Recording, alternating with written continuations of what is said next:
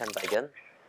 Iya, Ustadz mau uh, konsultasi, mau uh, bertanya mengenai bagaimana caranya membersihkan dari harta haram. Jadi begini Ustadz, saya saat ini tinggal di rumah yang saya beli dari penghasilan saya waktu saya pernah bekerja di perusahaan asuransi.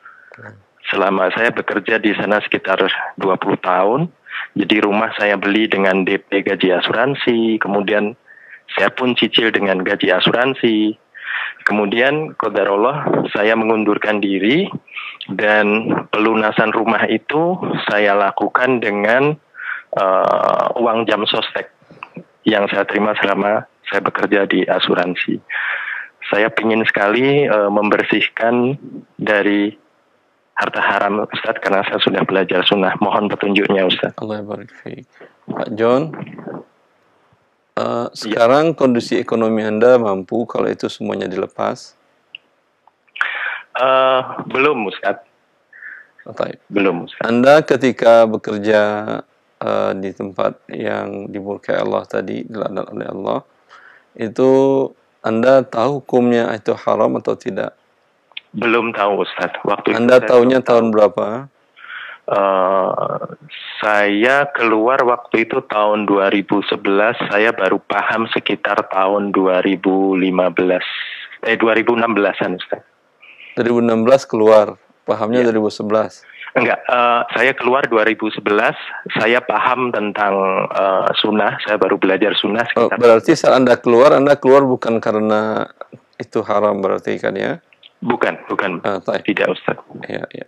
Dalam hal ini ada khilaf para ulama bila seseorang tidak tahu tadi hukumnya haram. Ya. Sebagian para ulama dan ini fatwa lajnah daimah bahwasanya apa yang Anda tidak tahu tadi itu hukumnya dihalalkan. Iya Ustaz. Ya, karena Anda tidak tahu. Hmm. Ya. ya. Sebagian para ulama mengatakan tergantung tahu dan tidaknya. Karena Anda umpamanya hidup di negara yang hampir kalau ditanyakan semua banyak orang yang tahu banyak referensi tapi Anda pura-pura tidak tahu ini tentu berbeda hukumnya. Hmm. Tapi wallahu a'lam mungkin di 2011 sebe apalagi sebelumnya itu orang seolah tidak tersadarkan apa itu riba, apa itu asuransi, apa itu bank konvensional.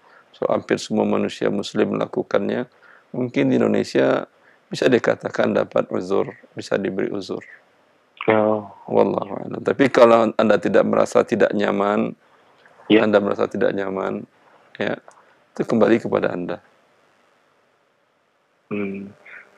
Jadi kalau memang terasa sangat tidak nyaman, Ustadz, uh, apa yang harus saya lakukan? Untuk... Kalau merasa tidak nyaman, yang mampu Anda keluarkan, Anda keluarkan. Artinya tadi kan saya tanyakan, kalau dikeluarkan semua yang didapatkan dengan yang haram tadi, apakah Anda bisa bertahan hidup? Anda jawabkan tidak.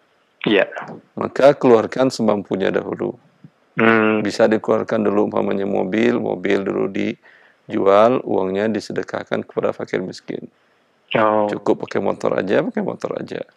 Punya rumah dua umpamanya dan rumah yang satu pun tidak merupakan sumber untuk biaya hidup sehari-hari Anda, rumah yang satu jual, ya, satu mesti dipakai, kemudian uangnya berikan kepada fakir miskin.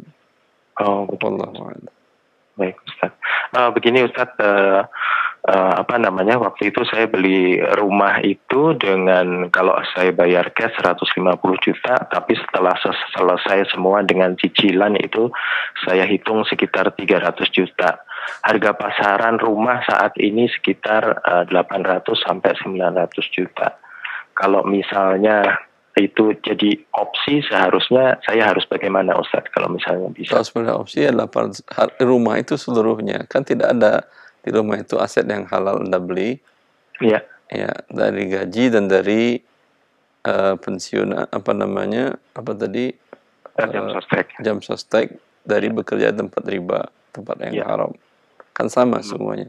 Maka oh. kalau ingin Anda pilih untuk bikin tenang tadi seperti tadi 800 jutanya Anda Anda berikan kepada fakir miskin. Oh, jadi se seberapa banyak yang saya sudah keluarkan untuk beli rumah ini ya Ustaz? Ya, yang dari itu. Tapi kalau ada unsur yang halal, oh. umpamanya dari rumah tadi pernah direnovasi pakai dari umpamanya hadiah uang dari orang tua, hmm. atau ya, hadiah ya. dari teman atau dari istri, ya, ya atau ada ada tanah warisan dijual dan sebagiannya direnovasi dengan itu. Oh. Tinggal ketika renovasi itu dengan uang halal tadi, berapa uang halalnya, umpamanya 200 juta. Di saat itu harga rumah berapa? Anggap umpamanya di saat itu harga 400. Ya. Berarti 200, berarti 50% dari harga rumah. Ketika Anda jual 800, yang 400 jutanya halal, yang 400 jutanya ada di Anda bersihkanlah seperti yang tadi kita sampaikan. Baik, baik, baik Ustaz. Baik Ustaz, terima kasih atas jasa Allah.